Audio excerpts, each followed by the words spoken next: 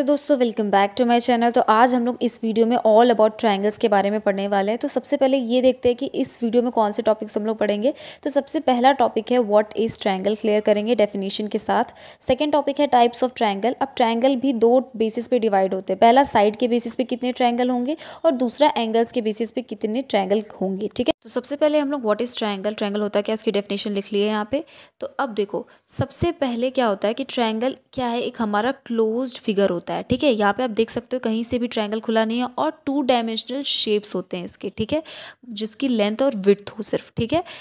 तो ये क्या है? टू डायमेंशनल है। जिसके पास क्या है? थ्री साइड्स है। तो यहाँ पे आप देख सकते हो कि यहाँ पे जो ट्रायंगल है, उसकी थ्री साइड्स हैं। जैसे कि अगर हम लोग नेम कर दें इसको तो वहाँ ए बी सी हो जाएगा। तो ए बी बी सी और ए सी क्या है? थ्री साइड्स हो गए।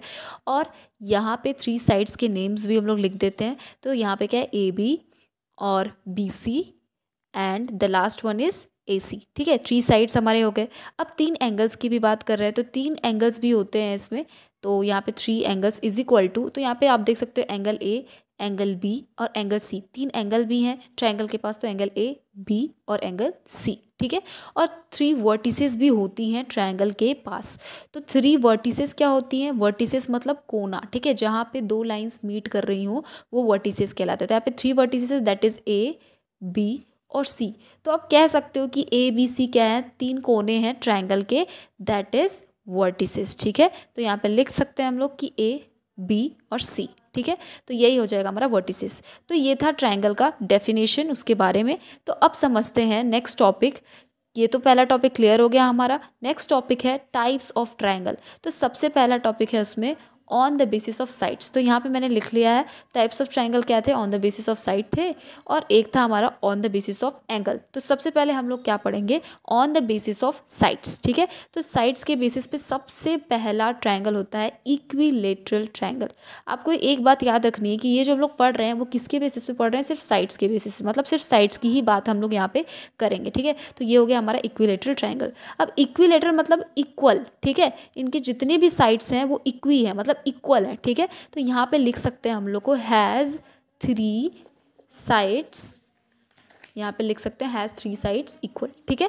तो मतलब इसकी तीनों साइड्स क्या होंगे? इक्वल होंगे। अगर मैं इस ट्रायंगल को नेम कर दूँ तो ए बी सी हो जाएगा तो यहाँ पे A B is equal to B C is equal to A C हो जाएगा। मतलब तीनों साइड्स यहाँ पे क्या है? इक्वल है। अगर सेकेंड पॉइंट यहाँ पे हम लोग लिखें दैट इज़ ए बी यहाँ पे जो ए बी साइड है, वो इक्वल है किसके? बी सी साइड के।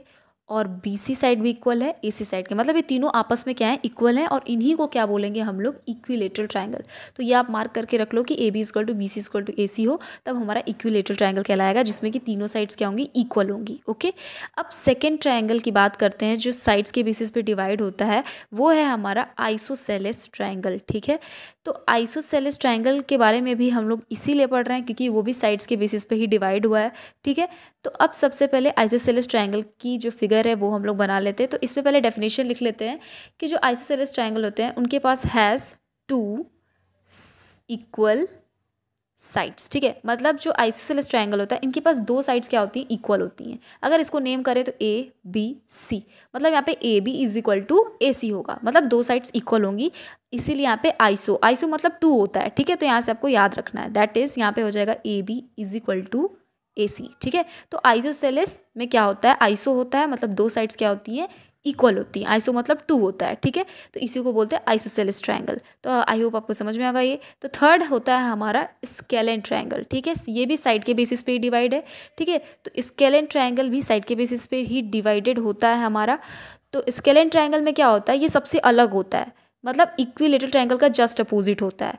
जैसे कि यहाँ पे जो होता है, पहले इसके बारे में लिखते दें हैज़ नो मतलब इसमें क्या होता है? कोई इक्वल साइड नहीं होती है।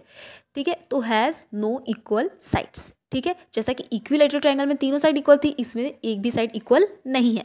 और यहाँ पे नेमिंग कर दें ए बी सी तो यहाँ पे अगर हमें लिखना हो तो ए बी इक्वल नहीं है बी सी के, और बी सी इक्वल नहीं ए सी के। मतलब ये तीनों आपस में एक दूसरे से इक्वल नहीं है, ठीक है?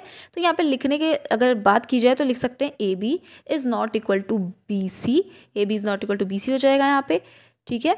और B C is not equal to A C okay तो ए सी के इक्वल नहीं होगा। मतलब ये तीनों साइड्स आपस में इक्वल नहीं होंगी। तो स्केलन जस्ट अपोजिट है इक्विलेट्रल का। वहाँ पे तीनों इक्वल थी, यहाँ पे तीनों इक्वल नहीं है, ठीक है? तो ये था हमारा on the basis of sides पे और ये मार्क कर लेना आपको पॉइंट कि तीनों साइड्स इक्वल नहीं होंगी स्केलन में। तो ये साइड के बेसिस पे हमारा कंप्लीट होता है टाइप्स ऑफ़ ट्रायंगल ठीक है? अब हम लोग सेकेंड पढ़ते हैं on the basis of angle angle के बेसिस पे कितने ट्रायंगल बनेंगे, ठीक है?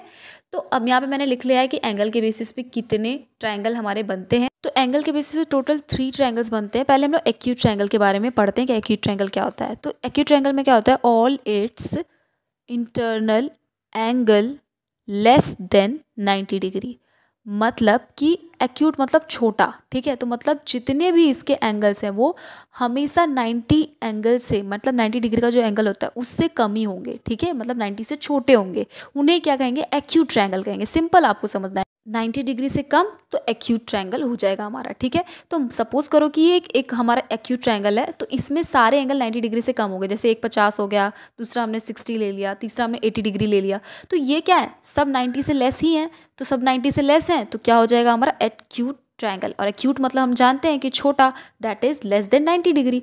तो अब नेक्स्ट हम लोग पढ़ते हैं पहले इसमें एक सेकेंड पॉइंट भी लिख देते हैं कि जितने भी इसमें एंगल्स होंगे that is angle A angle B और एंगल सी तीनों क्या है? लेस हैं।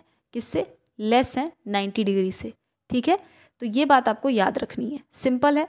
अब नेक्स्ट पढ़ते हैं राइट ट्रैंगल के बारे में। राइट मतलब नाइन्टी डिग्री राइट ट्रैंगल आपको पता होगा। ठीक है? तो अब सबसे पहले इसके बारे में थोड़ा लिख लेते हैं। तो इसमें one of the interior angles measuring angles measuring 90 degree. इसका मतलब क्या है? मतलब इसमें एक इंटीरियर एंगल क्या होता है? 90 डिग्री होता है। इंटीरियर मतलब अंदर वाला एंगल ठीक है? ए बी सी क्या है मान लो कोई ट्रायंगल है तो इसमें क्या है?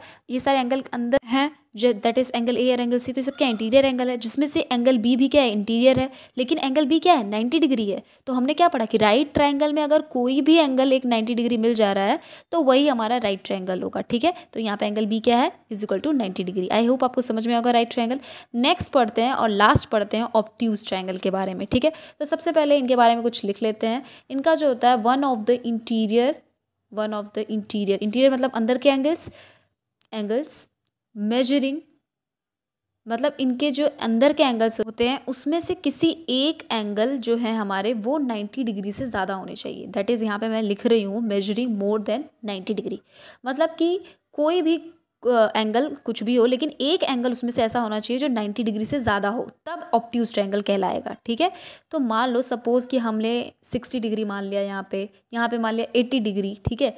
तो यहाँ पे लिख लेते 80 डिग्री लेकिन एक एंगल हमेशा 90 डिग्री से ज़्यादा होना ही चाहिए that is more than ninety degree तो यहाँ पर मान लेते वन हंड्रेड टेन डिग्री ठीक है? तो जो कि नाइन्टी से ज़्यादा है तो मतलब कि यहाँ पे जो एंगल बी है हमारा, वो ग्रेटर है.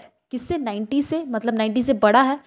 इसीलिए वो क्या कहलाएगा? ऑप्ट्यूज ट्रायंगल क्यों? क्योंकि कोई एक एंगल हमेशा ज़्यादा होना चाहिए 90 डिग्री से तो वो ऑप्ट्यूज ट्रायंगल हो जाएगा। बस एक एंगल से मतलब है हमारा, ठीक है? उसी को कहेंगे ऑप्ट्यूज ट्रायंगल तो आई होप आपको ये तीनों ट्रायंगल समझ में आए होंगे। तो ये सबसे पहला हमारा एंगल्स के बेसिस पे क्या था? एक्यूट राइट और ऑप्ट्यूज ट्रायंगल थे, ठीक है? और हमारे साइड के बेसिस पे क्या थे? Equilateral isosceles and scalene triangle, ठीक है? तो यहाँ पे हमने टॉपिक कौन कौन से क्लियर किए? टाइप्स ऑफ़ ट्रायंगल साइड के बेसिस पे हो गए और हमारा एंगल के बेसिस पे हो गया। आई होप आपको ये पूरी वीडियो ज़रूर समझ में आई होगी और कोई भी डाउट हो तो आप ज़रूर कमेंट करें एंड थैंक यू।